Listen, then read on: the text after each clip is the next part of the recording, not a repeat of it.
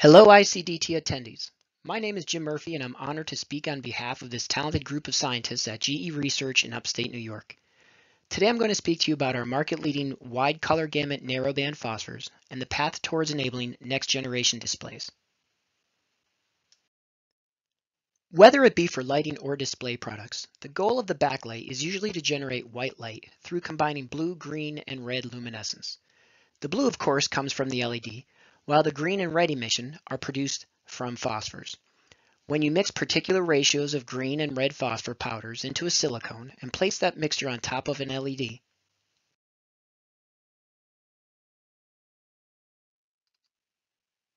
you get white light. And phosphor converted white light LEDs is where we make the bulk of our revenue in the display industry today. Today's talk will touch upon four areas. First, I will provide a bit of background on the commercial success of our narrow-band red-emitting KSF phosphor. Then I will present the three areas in which our R&D team continues to innovate for next-generation displays. First, to complement our narrowband red-emitting KSF phosphor, we're developing a narrowband green phosphor to enable higher color quality, wider color gamut on-chip phosphor solutions. Secondly, we are focused on commercializing a new smaller type of KSF phosphor to meet the needs of the newly emerging 2D backlit market sector, which may contain mini LEDs. There are three architectures for small-sized KSF phosphor in this direct lit space. First, KSF on chip, remote parts, or KSF magenta LEDs. And last but not least, looking out more into the future, our third area of development is in using KSF phosphor for micro-LED applications. We have developed submicron and even nano KSF phosphor types for micro-LED applications, as well as inks and photoresists that can be used to make films and even inkjet printed parts. For those not familiar with KSF phosphor technology by GE, I'm showing some properties of the material here. The phosphor is called PFS or KSF in Asia because the composition is potassium fluorosilicate doped with manganese. PFS and KSF mean the same thing, and for the remainder of this talk, I will use the term KSF. KSF has five emission peaks, each of which is below 2 nanometers in full width half max. This line emission centered at 631 nanometers is what enables wide color gamut displays. A license is required by GE to use KSF phosphor in the display industry, and we partner with current lighting solutions for phosphor manufacturing. There are now more than 40 billion KSF containing LEDs sold into the display industry. We have 19 licensees in six countries, and we are very proud that we have penetrated all four major market display sectors, which I will show on the next slide. Unlike other competing technologies, the excellent performance, robust nature, and cost effectiveness of using KSF phosphor has resulted in our technology being the wide color gamut red emitting material of choice in all four major market sectors. You can find KSF in smartphones, including new ultra rugged phones for first responders. KSF is really doing exceptionally well in monitors and laptops, as KSF is most often chosen when battery life, energy efficiency, and color quality matter. Here we show KSF in the 2020 SID Display of the Year, which is a 2D backlit monitor, as well as a new Dell gaming laptop that has a 300 Hz refresh rate. It is in the iPad and the Samsung tablets, as well as several others, and it can be found in TVs by several companies, including 4K high dynamic range full array local dimming TVs by Sony. Although I've just shown that KSF has been commercialized across all display types, the full potential of KSF phosphor technology is sometimes not realized in practice because it is paired with a green phosphor that is broadband emitting or has asymmetric emission. The black emission spectra shows our narrowband red KSF phosphor technology used in combination with one of the current industry standard green phosphors known as beta SiAlON. You can see that beta SiAlON has asymmetric emission that continues into the red KSF emission region, which has an effect of decreasing the display color quality. Keep in mind that this beta SiAlON KSF combination can attain very wide color gamut, but we can do even better. As I'm showing with the red emission spectra, we are developing new types of narrowband green phosphors that have no emission into the red pixel to improve color quality beyond where phosphor converted LEDs are today. These new green phosphors have excellent reliability to high temperature and humidity, and we show good performance even at smaller sizes that would be applicable to remote parts. The green compositions have good enough reliability to be used on chip or they can be synthesized in small size for remote applications. The narrow emission allows for best-in-class color quality, and we can now attain brightness levels that exceed that of quantum dots. We have multiple compositions under development that can enable 100% DCI-P3 and Adobe Color Space, and our compositions have the same or stronger absorbance of blue light than beta SiAlON, so that less phosphor is used to hit a given color point. Our quantum efficiencies improve every month, and customer sampling is now underway. Pivoting back to our red phosphor now, this slide shows how KSF phosphor has evolved throughout the years and has been commercialized in multiple application spaces and form factors, largely because we have developed multiple types of KSF phosphor based on particle size, absorbance, reliability, and cost. We first developed KSF phosphor for lighting applications, where in general LED size is a bit larger and reliability is key. Now in the display industry, there's a trend towards smaller LED sizes, of course, and KSF size must decrease to properly coat these smaller LEDs. As opposed to initial products, where KSF size could be as large as 30 microns, the particle size has been reduced by more than a factor of 10 with quantum efficiencies that continue to be above 90% in commercialized products. The remainder of this talk will cover our small size KSF phosphor development for mini LED and micro LED applications, where the focus of our R&D is to develop submicron and even more recently, nano KSF types.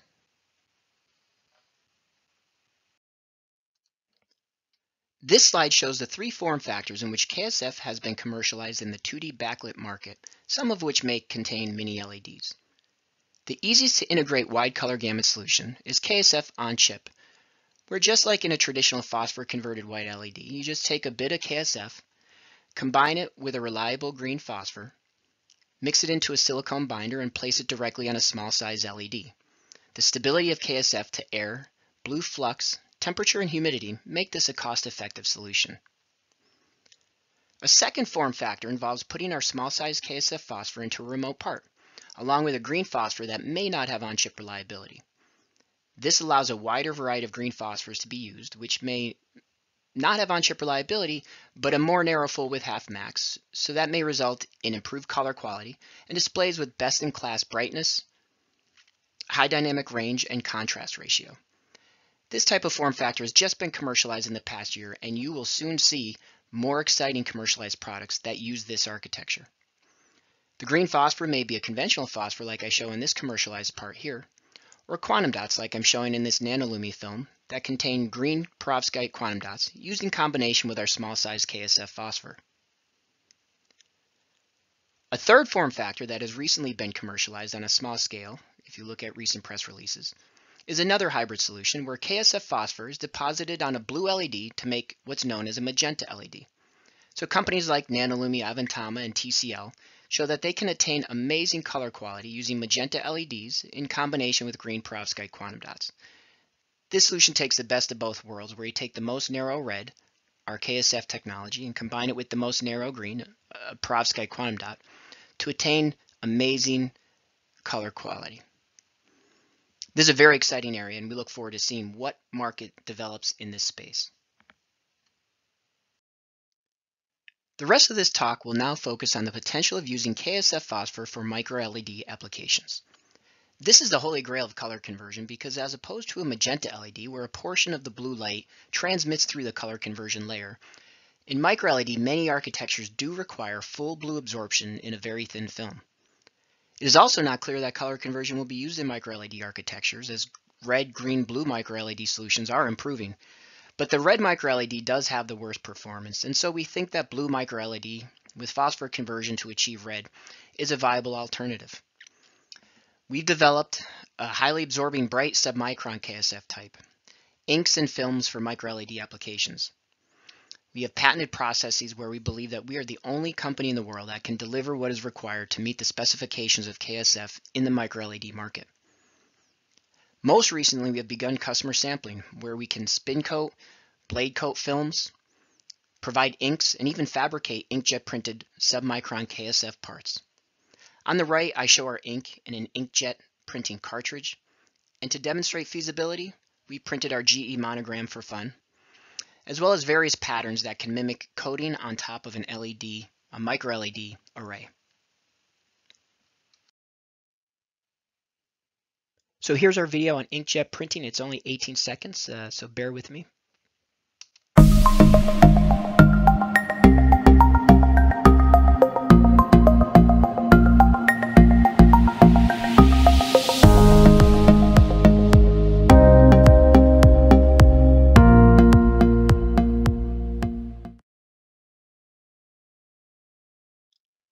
Okay, that video of inkjet printing is exciting because it shows that it is feasible to use KSF phosphor for inkjet printing as an alternative to quantum dots.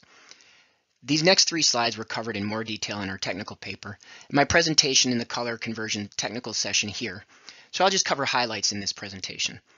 The intention is to educate the audience on the properties of submicron KSF that make it quite attractive for color conversion in microLED applications relative to quantum dots. So first, this data shows that KSF has better reliability than quantum dots. Encapsulation is not required because it has good stability in air, humidity, temperature, and blue flux so that it enables products that will last a long time. The second figure shows that KSF has more narrow red emission than red quantum dots, which results in higher color quality displays. So shown here are emission spectra from a commercial quantum dot TV. In orange, this is the emission spectra of, of that TV, overlaid with the red emission spectra of KSF phosphor from a, a TV as well. And without even looking at it, you can just see, without even discussing full width half max, it's just visually you can see that KSF is more narrow in emission than quantum dots. And this translates to more saturated, higher color quality red colors. And this third figure over here compares the absorption properties of KSF relative to quantum dots. So a strength of quantum dots is that they do have a higher absorption coefficient than KSF for blue light. So out here in the blue light spectrum, quantum dots do a good job of absorbing. However, quantum dots, dots absorb all the way through the visible. So they'll absorb green light, and they even have self-absorption. That's what we're showing here. So they'll even absorb some of their own emission. So this results in a lower peak quantum efficiencies, especially in dense films that are used in micro LED applications. In contrast, KSF doesn't have as high absorption for blue, but as I've shown earlier, we have types that absorb uh, more strongly than ever. But note the absorption is basically gone by about 500 nanometers. So there is no absorption of green and there's certainly no self-absorption that's going to limit the peak brightness in dense films. I'll show the effects of this on the next slide. But in short, submicron KSF phosphor is more reliable, brighter, and it has wider color gamut than red quantum dots. And so it is a viable alternative for microLED color conversion. This is exciting data for me to present on comparing quantum dots to KSF for microLED applications. One important metric in this space is external quantum efficiency, which is a measure of how much red light actually makes it out of a color converting film relative to incident blue photons. An estimate of what the EQE versus thickness for indium phosphide quantum dots is shown here. As you move from very thin films up to about 9 microns or so, the EQE increases as quantum dots absorb more blue light. Because of this self-absorption effect I described on the last slide, however, in thicker dense films, the EQE then begins to decrease, resulting in what is known as an inverted U-curve. In comparison, KSF phosphor that is just below 1 micron in size has an EQE versus thickness curve that looks like this. As I compare these two color conversion solutions, I like to think in terms of three regions. In region 1, the stronger blue absorbance of quantum dots will mean that more blue photons get absorbed and converted to red photons. If quantum dots can meet reliability specifications, they should do pretty well here. Region 2 is where the battle will occur, if you will, as KSF now absorbs enough blue light such that it now surpasses quantum dots in EQE because it has a higher quantum efficiency and no self-absorption. And then finally in region 3, it's clear that the higher quantum efficiency, no self-absorption, and improved reliability and color quality of KS, KSF makes KSF phosphor films superior. Lastly, this gray curve shows the focus of our R&D team, where we work towards improving EQE, especially in more thin films, and we have line of sight to be here by the end of this year. I'm sure that quantum dot companies are focusing on improving their material as well, so it will be very exciting to see what color conversion solutions get commercialized in this space. This slide shows a few examples of phosphor-converted microLED device architectures that allow for thicker color conversion films with reduced crosstalk and improved light conversion efficiency. Intel has a paper on using dielectric metamirrors to better trap blue light and maximize light conversion efficiency. The University of Central Florida showed a paper at SID 2019 with this funnel tube array type of architecture with reflective coating that allows for thicker phosphor layers to be used with minimal color crosstalk and improved efficiency. And a third example was demonstrated by Sharp at SID in 2019, where they used light shielding walls to reduce crosstalk. Although I explained on the last slide that we are innovating at a rapid pace to work towards thinner color conversion layers, design considerations like these would allow for phosphor solutions to be implemented in the near term. Okay, my last slide here, just in summary, uh, comparing small size GE KSF versus quantum dots. Again, I want to point out that not all KSF is created equal. So um, for our material, uh, the, the color quality uh, is a clear advantage for us over indium phosphide quantum dots. Um, higher quantum efficiency, better reliability in air moisture, high temperature, uh, doesn't degrade in, upon curing, doesn't have to be encapsulated. It can, if you wish. Better reliability under high blue flux and no self-absorption. Um, you know, uh, our material does provide some level of uh, uh, scattering. Um, with quantum dots, you need to add um, scattering agent. That's just a difference. I don't don't say one's better than the other. It's just a difference in, in the materials. Um, but where do quantum dots win? I think there are two areas. Um, I think a in, in some instances, an LCD-like response time might not be fast enough. And so we don't think this is a huge portion of the micro LED industry, but in those instances, the faster photoluminescent decay time of the quantum dots, once you remove the LCD, can be an advantage, I think.